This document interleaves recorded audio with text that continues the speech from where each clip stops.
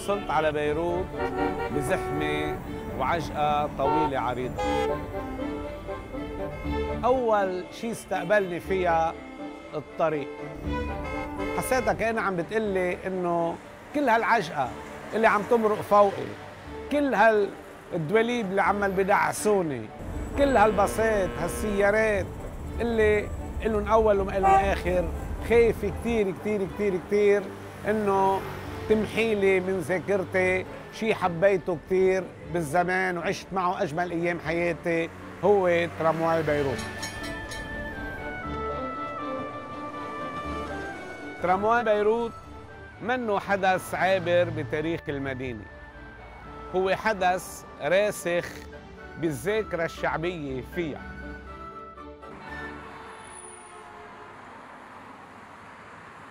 ترامواي أكيد هو من وسائل النقل اللي انقرضت مع الزمن بلبنان ولكن ما كان صدفة وما راح وما ترك أثر.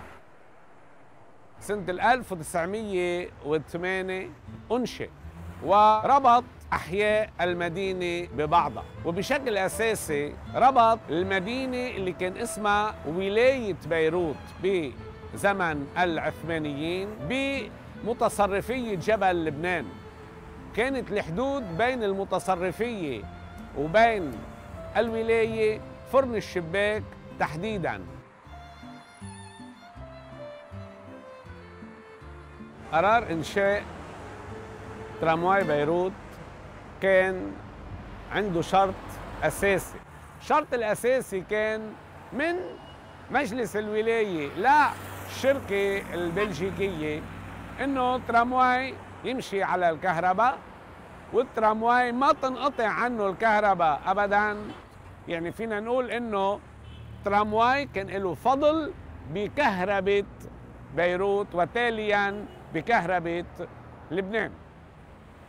خبرني أحد المسنين اللي عايشوا الترامواي إنه محل ما كانت الخطوط تبع الترامواي موجودة كانوا الناس يفلوا من بيوتهم وكانوا يقولوا إنه يا خيي هذا يمكن يشفل وهو على الكهرباء مين بده يوقفه؟ يمكن ياخذنا بطريقه. فالخوف أكيد وقتها كان مبرر لأنه كانوا لأول مرة عم بيشوفوا حافلة أو فيجوني مثل ما كنا نسميها عم تمشي لحالها.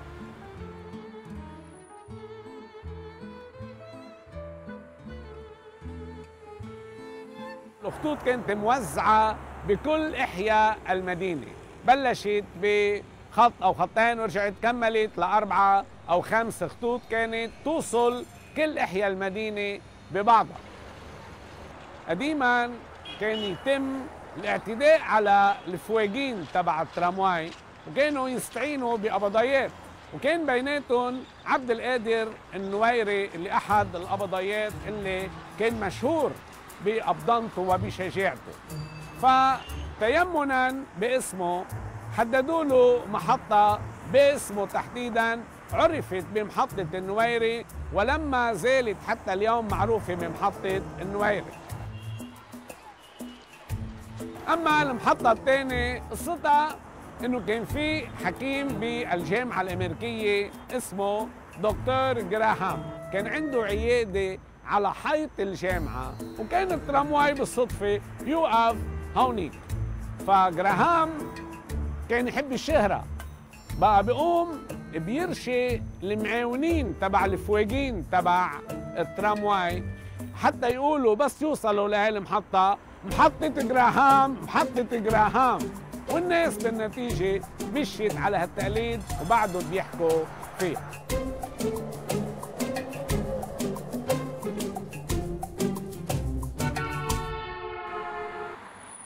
هون بالذات كنت أنا أركب بالترامواي كانت أمي تجيبنا على بيروت نبرم هون بساحة البرج وكانت دايما تحب تعملنا جولة. بالترامواي تحديدا كان يتم الاختلاط اختلاط بين الناس. تأمل أنت قاعد وناس قاعدين قدامك بصورة خاصة إذا كان معهم أولاد من عمرنا. بذكر شغلة إنه صار في علاقة وعلاقة حميمة كتير والترامواي له فضل بترسيخ هالعلاقة بيننا وبين ناس من بيت الخطيب من برشا.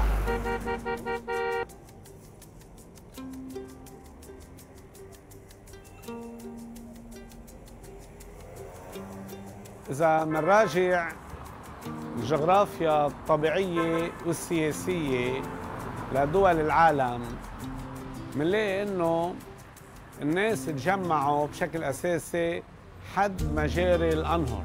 هالشيء بينطبق تماما على ترامواي بيروت. فإذا رجعنا خط سير الترامواي بأحياء المدينة بنشوف إنه كل المؤسسات الرسمية كل المستشفيات كل المنشآت كل المعاهد كل المدارس كل الجامعات كلها أنشئت على هالخط هيدا وحد هالخط هيدا. لأنه كان هالخط ترامواي يشبه تماما مجرى الأنهر بالزمان اللي كانت تتشكل حول مدن.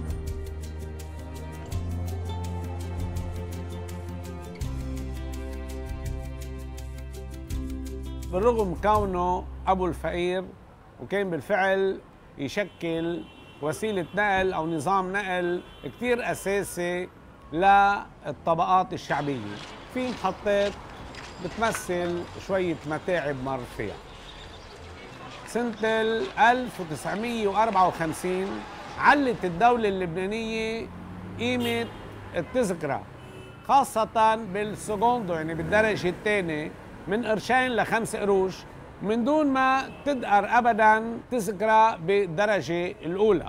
ف محتجوا على هذا الموضوع وقاطعوا ترامواي ما عادوا لفترة معينة يطلعوا فيه.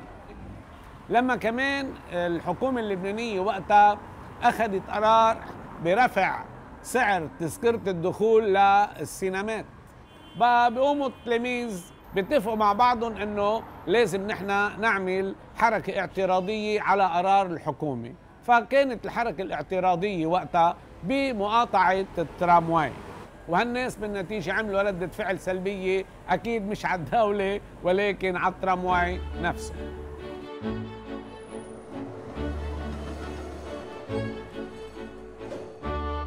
ترامواي بيروت هو الدرس الأول في التربية المدنية في لبنان.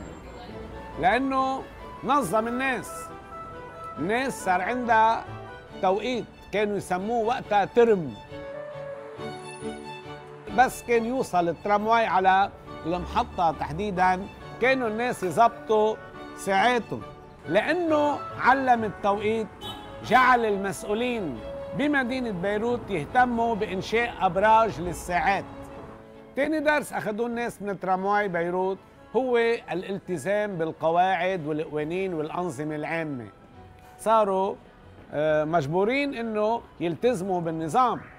إذا طلعوا على فاغونة الترامواي وعملوا أي إشكال أو أي مشكل دغري كانوا يظهروهم.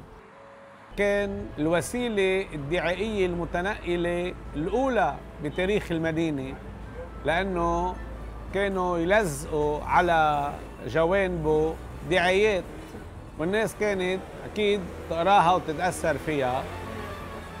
وبالإضافة لأنه سنة 1958 على أثر الثورة اللي حصلت بلبنان وقتها والترامواي كان يقطع بين الأشرفية وبين البسطة. كانوا يشطبوا بعضهم بالكتابة على الترامواي.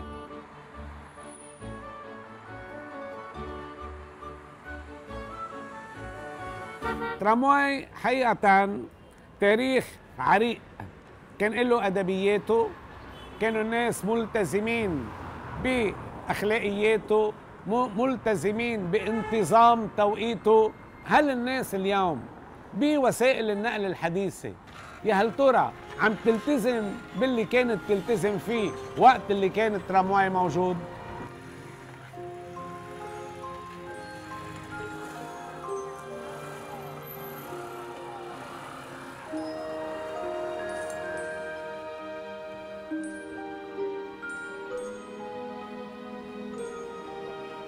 ليش تم الاستغناء عن ترامواي بيروت سنة 1964 في كتير آه، برروا هالقرار اللي طلعت فيه الحكومة وقتها بأنه بدنا نتطور بدنا نتقدم. عشان هيك قررت الحكومة اللبنانية تستغني عن الترامواي وتستعيد عنه بباصات والباص الكل كانوا يسموه بالزمانات آه، جحش الدولة.